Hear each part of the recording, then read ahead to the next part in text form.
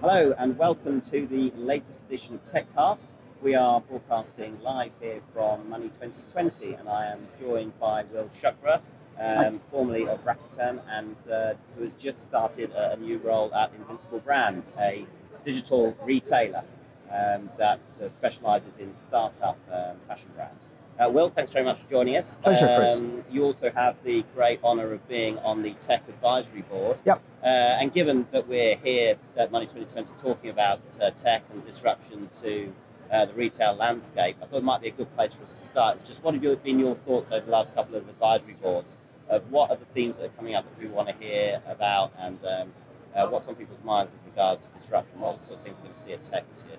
Look, I think we've had a really interesting um, number of sessions trying to really dive into what we're going to uh, base the conference around. And, and the main thing that's come through is that retail is just increasingly becoming analogous with tech. You, you can't be a retailer today and not be absolutely superb in your delivery of, of tech, either to customer experience uh, or to uh, logistics. Um, and so some of the key things that we've been looking at are what is the role of AI increasingly going to, to play? Um, how uh, how's logistics um, and supply chain really altering as people are moving from just thinking about digital transformation, where to be honest, if you're thinking about digital transformation today, you're probably in quite a lot of trouble.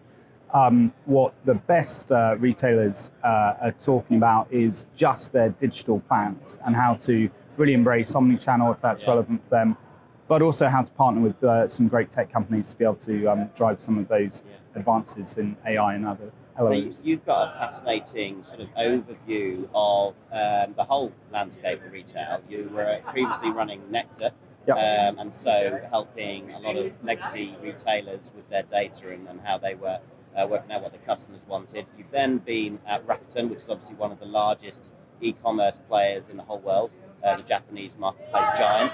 Uh, and now you've moved to a startup business um, where technology is just part and parcel of what they do.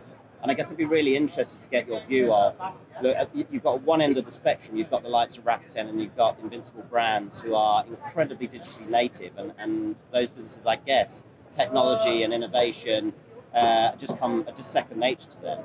And then when you look back at your days at Nectar when you were helping businesses like Sainsbury's, yep. Um, I guess my question is: Are legacy retailers dead? Is there any way, as you say, they can catch up uh, these sort of the likes of Rakuten or indeed the, the small disruptive fast uh, fast startup brands like Invincible? I think the first thing that you uh, you said there, really talking about the just the starting mentality for for Invincible brands and and indeed for Rakuten. But particularly then, if you look at some of the Chinese uh, players, Alibaba, etc., yeah. Tencent, just comes from a different place. It comes from um, thinking mobile first. It comes from thinking about ecosystems, so how you can pull together different uh, cus- uh, different businesses and areas of focus to serve the customer better. Um, whereas what you do see, particularly you know in the UK and U- US, is uh, people starting from a uh, an idea that you have to just sell through bricks and mortar on your own and you know, anyone else's is, yeah. is competition. That, that's a big challenge. And I think uh, that's been a big uh, mindset shift for, for some of the retailers.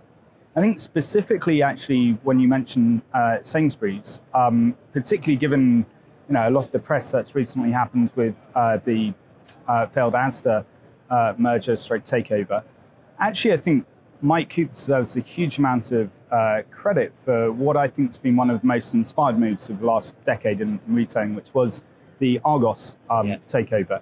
And you know, actually, if you look at the retailer you would never have backed to be a success in the digital era, it's, it's Argos, who were a catalogs retailer. They were, uh, you know, dreadful secondary location stores. Um, and under John Walden really did uh, transform themselves to be the biggest competitive threat to Amazon in, in the UK. Uh, so I think you can make those changes as uh, legacy businesses. What I think the problem is now for businesses such as M&S who have made some great hires to really, you know, transform and really embrace the digital agenda, is are they just too late?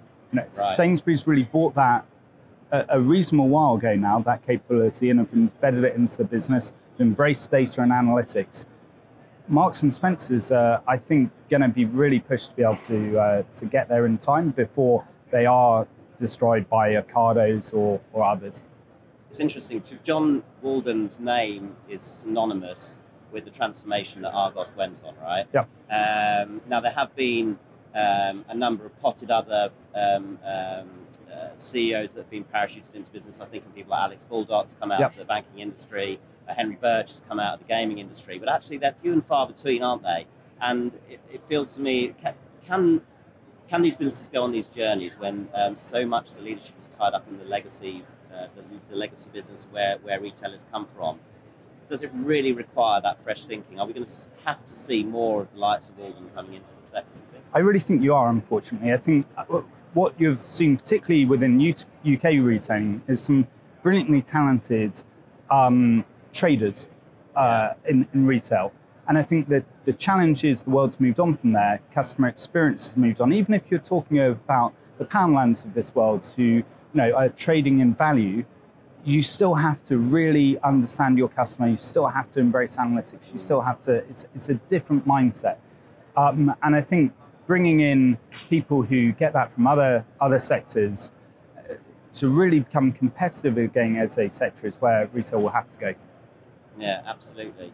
And look, you, um, as I say, you've recently moved from Rakuten yep. into Invincible Brands. Um, really intrigued by a why that business, because it's not one that many of us have heard of, and, and Rakuten is a huge, huge global name. Uh, and secondly, if you'd had the chance, would you have gone into a legacy business, a legacy retail business, or is that for you? It's like, um, you know, that's not a game I want to play. That's just too tough an ask. Uh, look, very interesting question. Uh, to answer Invincible Brands piece, um, uh, Invincible addresses two of the really big themes that I've seen happening in, in retail over the last few years uh, the fact that some of the bigger uh, corporate businesses just don't have the capability um, to be able to move quickly enough in NPD to address the ever increasing speed of customer uh, tastes and, and how those change. Um, and Invincible has just built this incredible platform to be able to do that very, very quickly. We, we launched brands in three months. It's, it's right, incredible. Um, and the second piece is that I think all retailers are really struggling to uh, build relationships and address millennials. Um, and again, through uh, a very, very clever um, relationship with uh, influencer marketers, but also just a really deep understanding of what's important to millennials and how to communicate with them. You know, Invincible outperforms the competition significantly on that. So I think those are going to be two two big themes going forwards. Um, yeah, and I thought that was a really exciting part of uh, the world to get involved and in. you clearly think, therefore, that despite the growth of Amazon in the West, Alibaba, JD, Rakuten in the East, that there is still a place to play for small niche businesses in, in commerce and retail. Absolutely. I, I mean, you look at Rakuten, which, as yeah. you say, I've, I've got great experience uh, with. I, have worked for Hiroshi Miki Mikitani, the CEO and founder of, of Rakuten, one of the best entrepreneurs on the planet. Um, and what was fascinating with him is he really has managed to um, drive through Rakuten a constant focus on entrepreneurship. Yeah. And it's outside just retail. It started as a marketplace, but he now uh, is launching the fourth mobile network in, in Japan. Is constantly looking for the next new piece.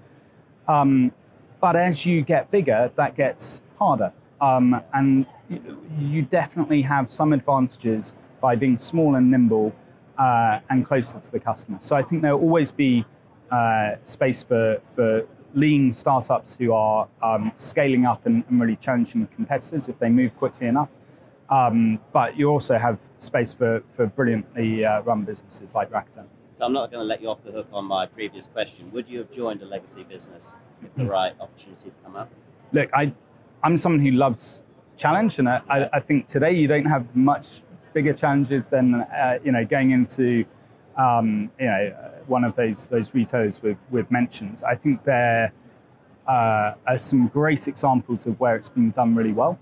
Um, you know, I think Lego at the beginning of some of their digital transformation, but they've really transformed some of their uh, corporate social responsibility around the use of plastics already, and, and really shown how to move a large organisation quickly. Um, and you know, Argos is a great example earlier on of, of digital transformation. So it's a huge challenge. I, I really think a lot of the retailers we all know and love um, may well disappear in the next yeah. three to five years. I, I just think some of them have left it too late, and the um, leadership challenge, and that, that's what it comes down to. You have to have a wholly focused, united uh, organization, free of politics, just focused on one aim to really um, make those types of businesses fit for purpose in, in the modern age. I'd relish that challenge, um, uh, but it's a, it's a very difficult one. Yeah, it's a big one. Um, and whereabout tech obviously is coming up fast. Uh, October yep. uh, in London, very much an international event uh, this year. Uh, already 50, 60% of our speakers are coming uh, from overseas. Where do you see internationally um, the kind of shop windows into innovation that retailers, brands, commerce companies ought to be looking to in order to get inspiration? Well, look, I think it's also so important with, with Brexit coming yeah. uh, to, to be looking out to the rest of the world um, and, uh, and embracing best practice uh, from all over the place. But I think you still have significant innovation coming from Silicon Valley. Um, I spent a lot of the last two years uh, really embedded in, in, in, that innovation, and it's, uh, it's just phenomenal the amount of funding behind it and the amount of ideas that come through. When you're looking at um, partnerships and on mobile, though, you know, you really have to look east and, and you probably have to look to China. Um, but the you know the one outlier I'd also say is uh, going to become more and more interesting over the next couple of years is India. India right. have um, 1.2 billion uh, people on mobile phones.